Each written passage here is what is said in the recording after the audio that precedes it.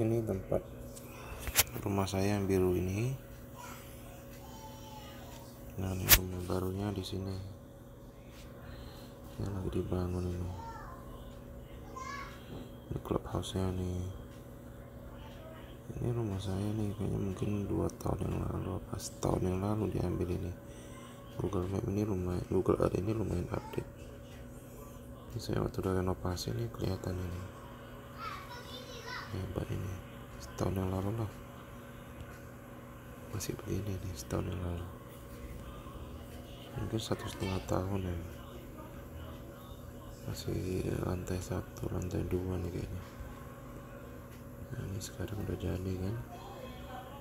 Samping taman sebelah clubhouse. Oh, persis Google Map atas tampak bawah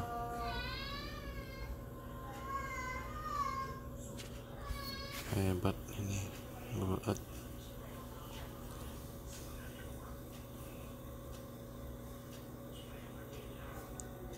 yang sebelah sini hijau udah jadi pabrik ini. Di tanah hijau udah jadi pabrik